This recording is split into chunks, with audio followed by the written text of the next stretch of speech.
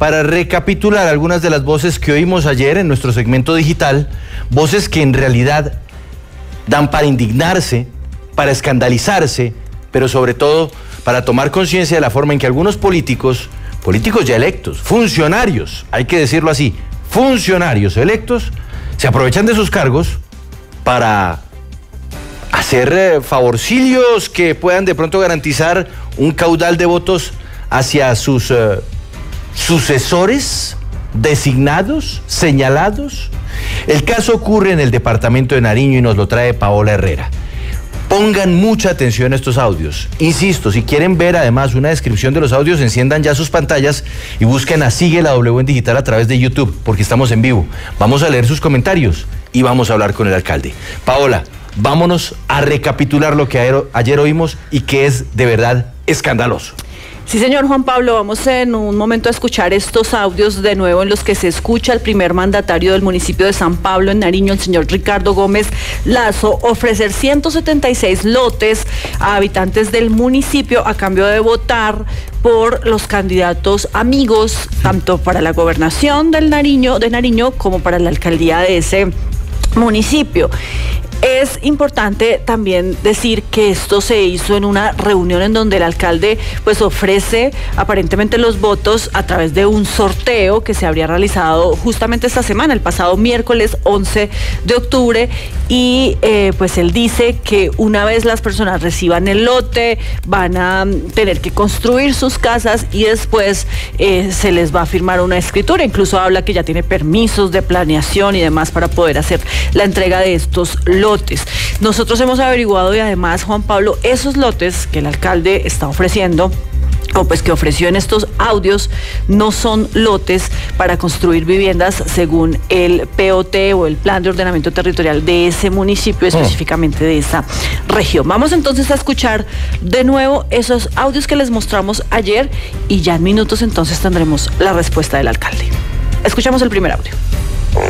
Hay 170 estamos legalizando. Entonces ya ustedes tampoco construyen su casa, pueden hacer la gestión con el alcalde para que les dé la escritura. ¿Sí? Eso tiene un procedimiento, la señora Milena Narváez es la encargada de hacer esos pasos. Es rápido que se hace ya directamente. Sí, sí, vamos a hacer un sorteo, ¿no? Este, yo creo que mejor regalo de Navidad que ese no les pueden dar a ustedes. ¿no? Es un buen regalo que les hago acá. Si Dios permite y estamos con salud, de aquí a unos dos años estoy, me quiero lanzar a la cámara, puede ser.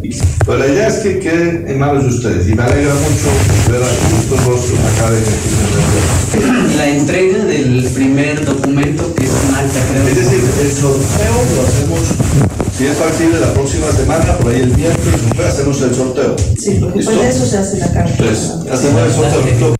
Ahí está entonces. 170 y pico lotes, ¿ah? 176.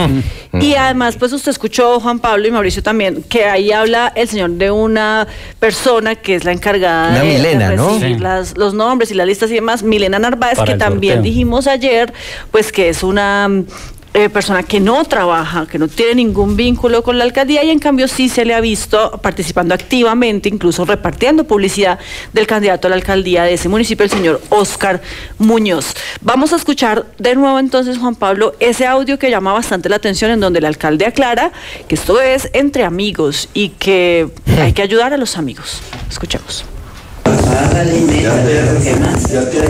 Bueno, y, y algo que es como lo más a veces engorroso de esto y es que yo les sugiero aquí y les pido que saben que esto es de amigos.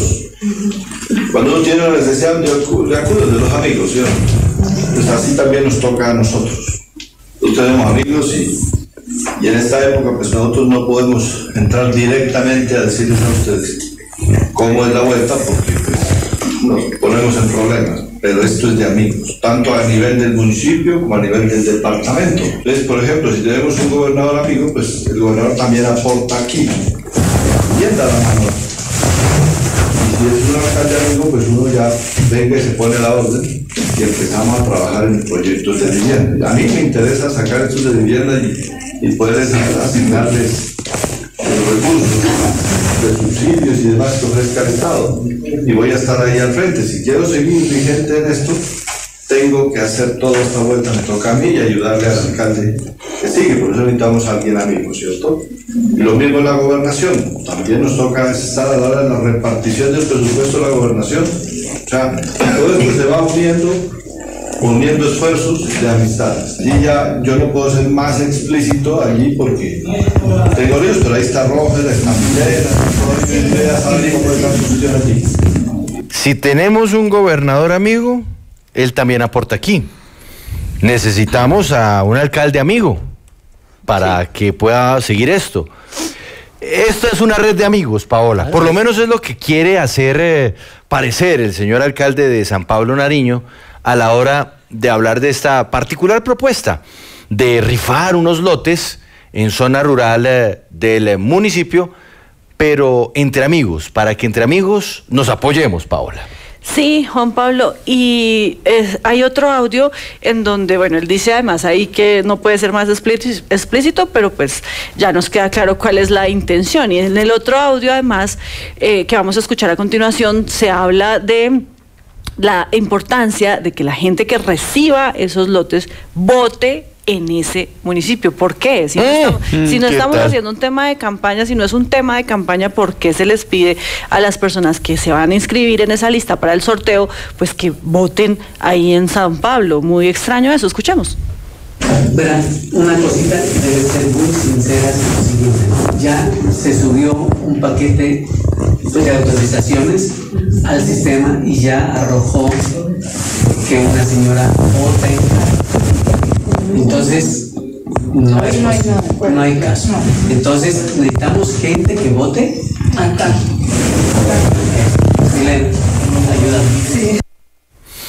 Nos escribe Lucas a través del chat del YouTube Live. Quiten esa pendejada de audios. Hablen más bien del jefe de seguridad de la vicepresidenta.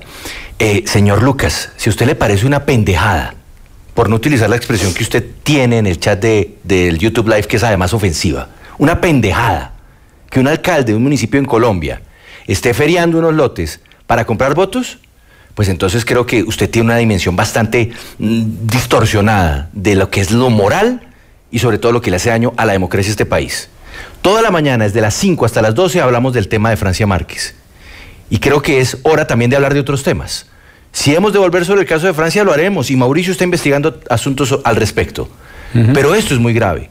Porque además esto pasa en muchos lugares del país. Y aceptar eso o pensar que esto es una pendejada por no utilizar su expresión, creo que dista mucho de una persona que por lo menos valora los estándares éticos que se deberían tener a la hora de construir un país democrático realmente que es en el que vivimos. Paola, ¿algo más respecto a estos audios o nos vamos con el alcalde? No, un último audio, Juan Pablo, en donde se escucha a otra persona que está participando en esta reunión junto con la señora eh, Milena y con el alcalde. Es un señor llamado Roger, quien hace una importante advertencia también, algo así como pilas que esto quede entre nosotros. Escuchemos. Vamos a poner una recomendación. Esto no lo vayan a estar comentando. No, manténganlo en reserva. Si de pronto van allá, estoy en un lote, lote, nada. Cerradito, cerradito. Pero sí queremos que todos ustedes, como por ejemplo, tienen amistades, ojalá nos ayuden a traer más. Los más Lo que más Porque del éxito de eso también a ustedes se les va a retribuir, como dijo el señor alcalde, luego con apoyarlos, con más apoyo en este momento. ¿Qué tal eso? Ah? Del éxito de esto depende. Hmm. Paola, saludemos al alcalde, por favor. pues está justamente con nosotros a esta hora el señor Ricardo Gómez Lazo, alcalde de San Pablo en Nariño. Buenas tardes, alcalde, y por favor explíquenos estos audios. Muy buenas tardes. Mm. Saludo cordial a la W, a Juan Pablo Calvasi, a, las personas pues, que están ahí en la mesa.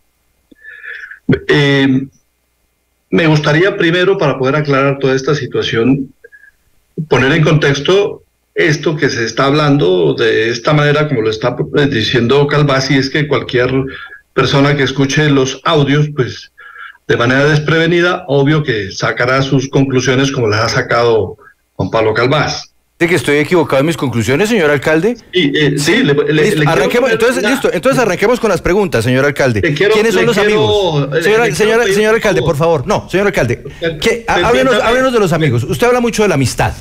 ¿Quiénes son los amigos? Permítame contextualizarlo. No, no, no, no, no, no, no, señor. La entrevista, El- la, la- la entrevista la conducimos no acá, estamos- señor alcalde. Nosotros acá no estamos. Se- señor alcalde, lotes, señor alcalde, votos. Yo, en señor alcalde, no, señor alcalde, yo le voy a pedir un favor. Respondamos las preguntas. ¿De qué amigos estamos hablando? Bueno, mire, mi lema es Ricardo Gómez, el alcalde amigos. Fue mi lema de campaña. ¿Sí? Ujú. Yo no estoy dando nombres en absoluto aquí en, eh, en esta situación y le digo que cuando hablamos de sorteo, cuando usted lo plantea de esa manera, estamos hablando de los sorteos. de Señor alcalde, le pregunté sobre los amigos. solamente- Señor alcalde, le pregunté sobre los amigos. Si tenemos un gobernador amigo, él también aporta aquí. ¿Quién es un Obvio, gobernador amigo? Obvio, yo digo, eh, de todo este trabajo, como cualquiera lo puede hacer, eh, lo- podrá hacerlo con, con- con mucho más fácil si, si, si los proyectos se hacen con, con gente amiga. Nunca soy explícito en decir hay que votar por este o hay que votar por el otro. Porque es que no hay necesidad- estoy no hay ne- haciendo no hay una necesidad de ser aclaración para que el explícito. proyecto pueda seguir. No hay necesidad de ser explícito, señor alcalde, para cometer una irregularidad como la que a todas luces usted está cometiendo. ¿Qué gobernador amigo o qué candidato amigo podría garantizar que esto pues tenga No. un mejor futuro y que también aporte? Esto llegará, esto llegará con sea con quien sea el, el, el ganador. No, usted no dijo eso. Simplemente que hay que hacer- usted que no hay que dijo hacer, eso, señor alcalde. El, el lobby con amigos. Usted no dijo eso, señor alcalde. Usted dijo un amigo. ¿O quiere que le repita el audio? Y hablamos del no, audio. no, no, ya, ya no, lo repetimos. la- No, si quiere-. Ah, no, entonces Sí. se lo repito otra vez, señor alcalde, para que lo podamos desmenuzar. Hágale, es el audio 3, ¿no es cierto? Vamos con el audio 3 y Paola ya vamos con usted, perdóneme. Audio 3, hablemos de amigos, alcalde. Bueno, había pensado que Y, y algo que es como lo más a veces engorroso de esto y es que yo les sugiero allí y les pido pues saben que esto es de amigos. Cuando uno tiene una necesidad de, acu- de los amigos, ¿sí? Pues así también nos toca a nosotros. Nosotros tenemos amigos y, y en esta época pues nosotros no podemos entrar directamente a decirles a ustedes cómo es la vuelta porque pues, nos ponemos en problemas. Pero esto es de amigos, tanto a nivel del municipio como a nivel A ver, alcalde, nosotros no podemos aquí entrar a decirles cómo es la vuelta, pero ustedes saben cómo es la vuelta, alcalde. Mira, mira, Juan Pablo, mira, mira lo siguiente. ¿Cómo es la vuelta, Aquí se está haciendo ver que nosotros estamos entregando unos lotes a cambio de votos. Este es un proceso que viene desde La hace vuelta. más de dos años atrás. Alcalde, ¿cómo es la vuelta? Nosotros hemos comprado, nosotros Alcalde, hemos comprado aquí alcalde, ¿me escucha? la zona Alcalde. de expansión. Alcalde, ¿usted me está escuchando? Señor. ¿Cómo Sí. es la vuelta? Nosotros no podemos entrar a decirles cómo es la vuelta, pero ustedes saben. ¿Qué saben? Mira, eh, yo no puedo ser más, eh, eh, es decir, más explícito porque sencillamente yo no puedo recomendar ni meterme eh, a recomendar eh, eh, políticos. Yo estoy aquí sencillamente aclarando una situación como cuando usted está en una charla de amigos. En una charla de amigos uno puede decir cualquier situación y, yo no estoy allí en un discurso político, estoy en una charla de amigos porque las personas que están allí en ese, en ese, en, ese recinto, en, mi despacho, son personas conocidas, amigas que han venido participando ya de tres reuniones generales convocadas por todos los medios radiales, por las redes sociales, han venido ya participando de todo el proceso de asignación de esos. ah, Primero era construcción de vivienda de interés social, mi casa ya. En vista de que no fue posible eh, poder acceder a través de los créditos bancarios, porque solamente mi casa ya da, eh, da a los beneficiarios solamente entre el 30 y 40% Alcalde. del valor de los subsidios. alcalde, Entonces, permítame- Nos tocó hacer la entrega. ya. alcalde, permítame un momento Sí. y disculpe lo interrumpo ahí porque es que eso que usted nos está diciendo es más grave que lo anterior. O sea, ¿cómo así que esto es una reunión en su despacho con solo amigos? Entonces usted está regalando los lotes del municipio a sus amigos. Y además, ¿por qué en esta reunión participa una persona que hace parte de la campaña de un candidato a la alcaldía, que es la Eh, señora Discúlpame, Milena? pero me estás interpretando mal. Es convocatoria. Yo hago una convocatoria en la que han participado en tres reuniones grandes que se han hecho en el Teatro Municipal, donde han participado más de 200 personas en estas reuniones donde se ha socializado el proyecto, inclusive de manera inicial con los constructores que iban a hacer el proyecto, que por razones de que el banco no, no financió el, el, saldo del subsidio del valor de la vivienda, no fue posible acceder por ese lado. Pero hoy, hoy tenemos nosotros disponibles. Mire, este es un, este es un proyecto que forma parte de nuestro plan de desarrollo. Allí hay ya un trabajo hecho no por planeación nacional, como lo dijo ayer Juan Pablo Calvás, es por planeación municipal. Nosotros venimos trabajando allí ya en levantamientos topográficos. pero alcalde, pero, ¿por qué? pero explíquenos por favor por qué estaba una persona de la campaña, dos personas de la campaña del candidato Oscar Muñoz en esa reunión. y, ahorita se está desdiciendo, ¿no? Porque primero dijo que si era con amigos y ahora dijo que no era uno, que era una convocatoria abierta. Entonces, alcalde, o estaba en la reunión con amigos o era una convocatoria abierta. que esto no es de hoy, esto viene de un proceso de más de dos años viene en un proceso de más de dos años y ustedes lo pueden comprobar porque allí en el informe que entregué están el registro fotográfico de las reuniones que hemos venido sosteniendo con los posibles beneficiarios de estos de estas viviendas como no fue posible hacerlo por mi casa ya, por dado a que el banco no les va a prestar a la gente que no tiene con nuestro municipio acá no, es decir, es un municipio donde no tenemos sino una sola zona de expansión que fue la que el municipio adquirió para poder desarrollar este proyecto inicialmente con viviendas, pero en vista de esta situación los mismos beneficiarios solicitaron que se entregara el lote. Aquí los que han venido desde el principio están hasta el final. Nosotros no hemos llamado, venga, el que quiera lotes, le vamos. No, son la gente que viene con la base de datos desde el principio. Alcalde, alcalde, nuevamente le pregunto porque hay dos personas de la campaña ahí y además, entonces, si es así, es un programa que viene hace dos años y todo lo que usted nos está diciendo, ¿por qué es importante que la gente vote que ahí? porque es importante que quienes participen en el sorteo sean quienes voten ahí en el municipio? No, es que era, pasa esta situación que ya se me había presentado. Llegaron varias familias a postularse, sin embargo, no eran de San Pablo. Y uno de los requisitos es que sea de San Pablo y que esté dentro del casco urbano. Yo acá he hecho cualquier cantidad de proyectos de vivienda de interés social urbano y rural. Entonces, así se nos han metido varias familias que no son de San Pablo, sino son del Cauca. En la primera evaluación que se hace salieron varias familias que quisieron aprovechar la oportunidad para esto. Es que el lío es la expresión, porque usted dice que estén aquí, no sé, empadronados, que estén censados aquí, que pero es que escúchese a sí mismo, por favor. Verán, una cosita que debe ser muy sincera es lo siguiente. Ya se subió un paquete de autorizaciones al sistema y ya arrojó que una señora vota entonces, no, hay, no hay caso. Entonces, necesitamos gente que vote. Acá. Ayúdame. Recuérdeme quién es Roger González, que era la voz que estábamos oyendo ahí. Sí, es una persona que también estaba en la reunión, Juan Pablo, que dice, dicen de la alcaldía pues que no trabaja en la alcaldía y no sabemos por qué está ahí con el alcalde entregando pero bueno, lotes. Está en la, está en la reunión. que tienen que votar ahí, ¿no? Estando en la reunión, alcalde, si este señor utiliza la expresión, necesitamos gente que vote acá, ¿usted por qué no salió a decirle no, no, no, no, no, no, no, no me hable aquí de votos? ¿Por qué no lo interrumpe? ¿Por qué usted deja que el señor Roger así hable de esa manera enfrente suyo, ¿no? Ah, ah, podemos hablar que hubieron tres reuniones, no fue solamente esa, fueron tres reuniones.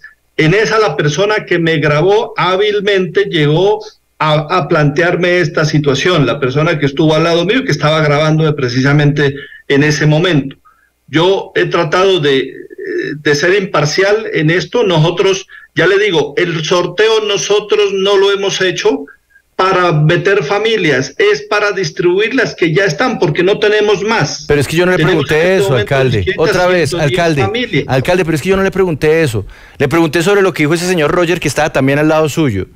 Y él dijo que necesitaba gente que votara ahí. Y usted no reviró. Usted no dijo, oiga, no diga eso, esto no es un tema de votos. Eh, ¿Por qué no dijo nada, alcalde? puertas abiertas. Yo, no, no, por, supuesto, pero es que. Son reuniones a puertas abiertas. Por supuesto, pero ¿por qué? Uno puede intervenir. Pero, pero usted tiene también derecho a corregir si está equivocado. Ah, y el el señor señor claramente dijo, necesitamos gente que vote acá. Y el señor o me está- equivoco, o estoy oyendo mal. No, sí, sí. eh, eh, mire, yo lo hice inclusive. Esa fue la última reunión. En las primeras no permití que nadie hablara de política. En la primera. Y hablamos y por qué. La última esos sí, qué bueno. Estoy seguro que también me los mandaron, me los mandaron a grabar.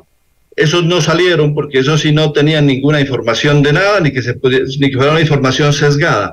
Pero yo le, yo le quiero decir aquí, Juan Pablo, y aprovecho esta oportunidad, le digo, no es el primer proyecto, esta es mi tercera alcaldía en la cual yo me he desempeñado en el municipio de San Pablo y jamás he tenido problemas de este, de este estilo. Y, y he hecho proyectos a, a nivel urbano y a nivel rural de vivienda, que es lo que, lo que le hemos puesto más empuje. Nosotros tenemos hoy más de 200 familias sin hogares y en arrendamiento y sin trabajo. Claro, son familias, las alcaldes, son familias, aquí. son familias, Voten, alcalde. Allí, allí hay, allí hay Son- gente de los cinco candidatos que hoy están vigentes acá en San Pablo, que están Son, escritos. son están personas allí que necesitan vivienda, alcalde. Usted mismo lo está diciendo. Ahora usted está diciendo que son reuniones de puertas abiertas. Entonces, ¿por qué en esos audios dice mantengan la reserva? Y déjeme que le insista. En la primera cuando cuando cualquier- cu- espéreme, alcalde. Cuando usted decía que era para hacer una vuelta, dice que si, o sea, ustedes saben cómo se hace la vuelta porque nos metemos en problemas. ¿En qué problemas se pueden Es, meter? es sencillo, claro, y entiéndalo de esta manera.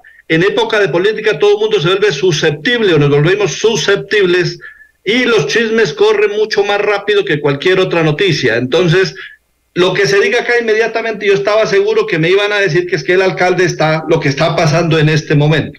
¿Sí? Eso es lo que está pasando, pero ya le, lo que yo puedo estar seguro y tranquilo y que no he cometido ningún ilícito ni estoy coaccionando a ningún a ninguno de los beneficiarios de las familias, porque al principio eso ese, esa parte del audio no me la no, no se la mostraron a ustedes, pero al principio de la de la reunión las hice presentar a cada una de las familias beneficiarias para saber de dónde venían, cuántos hijos tenían y cuál era el problema que tenían de vivienda.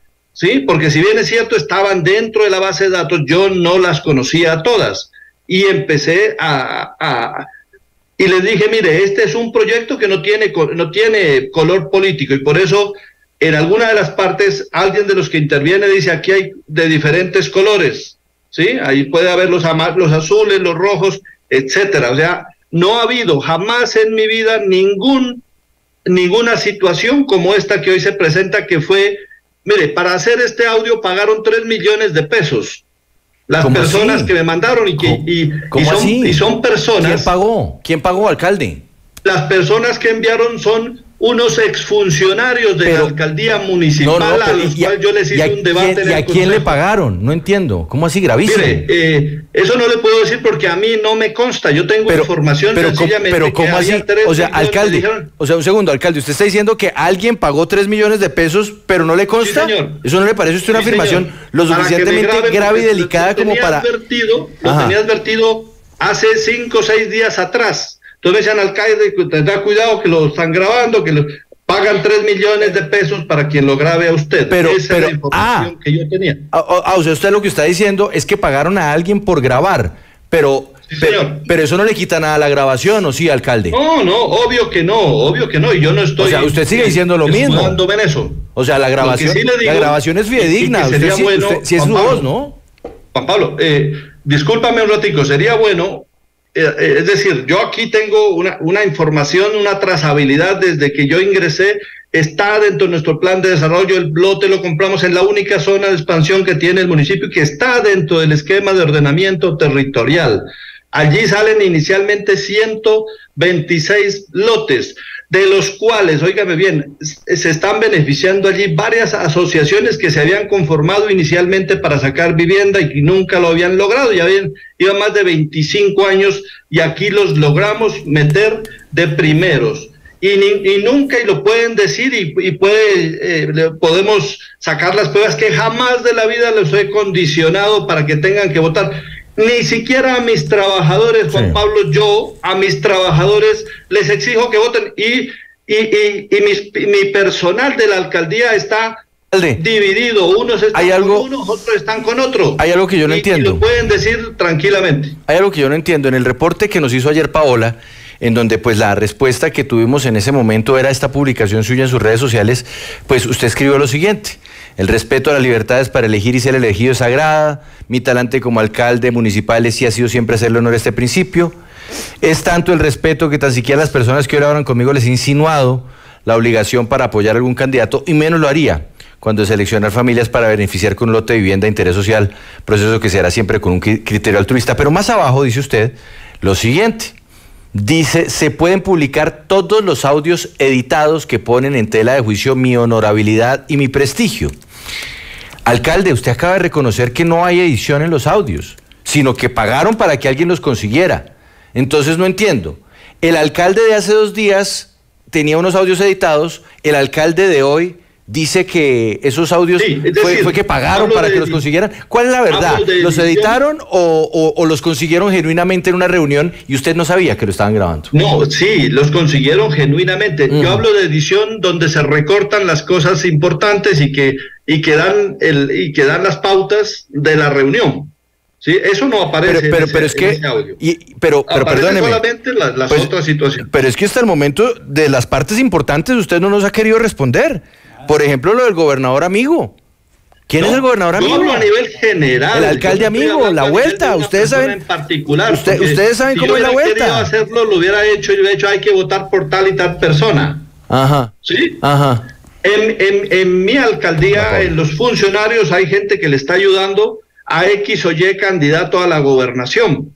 Yo, de- si yo fuera una persona que hace estas cosas indebidas, yo inicialmente estuviera obligando a mis trabajadores. Yo quiero empezar por allí nomás.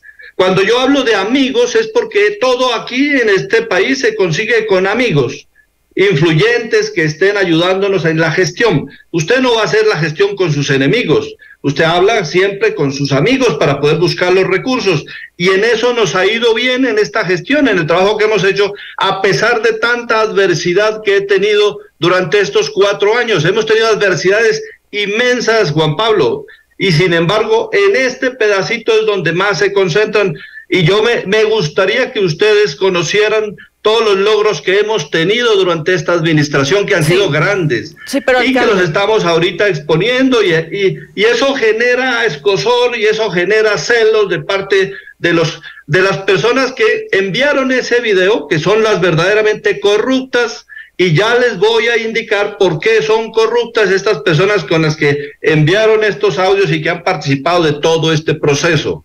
Porque allí hay un nivel de corrupción supremamente grande que la gente no lo conoce, pero que a raíz de esto ya eh, eh, tendremos la oportunidad Alcalde. y si gusta les voy enviando Sí, la- sí. las- la- les voy enviando que las Claro que personas sí. que enviaron esta información Alcalde. están involucradas en, en- en problemas ya penales de, de- Sí, de robo alcalde, y- y- definitivamente y de- los audios- de destrucción del erario público al- alcalde, los audios definitivamente son muy claros y usted no ha podido explicarnos todas las cosas que, que se escuchan, que además es su voz. Usted es el que está advirtiendo varias irregularidades y se- las autoridades en las que deban investigar. Pues si aquí usted cometió un, delito o no. Hay, eh, por supuesto, una denuncia que usted está haciendo por corrupción de otras personas y le vamos a recibir todas las pruebas y todo lo que nos quiera contar, por supuesto que sí, pero eh, por favor eh, responda a los cuestionamientos puntualmente porque es que son muchas cosas que usted dice en estos audios y que no nos ha podido entregar la explicación correspondiente. Yo te Le voy a Municipal. sí, Alcalde, escúcheme por favor. Hay un tema que, que ya con esto quiero finalizar y es que usted, esos lotes que está ofreciendo, pues están ubicados en un terreno que no es apto para construcción de vivienda. Porque usted está ofreciendo esto si no se puede. Usted es el alcalde, ¿cómo no va a saber dónde se puede y dónde no?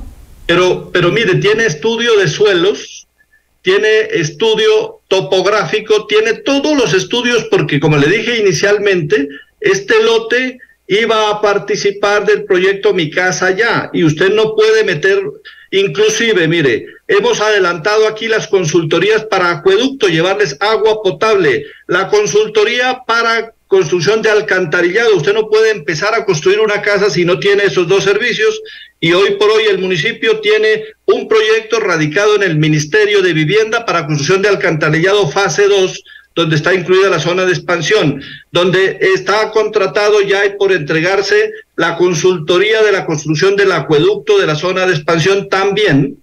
Entonces, no es un proyecto que salió de la noche a la mañana. En el EOT está perfectamente expreso que era la zona de expansión urbana, donde además de viviendas también hay áreas de recreación y deporte.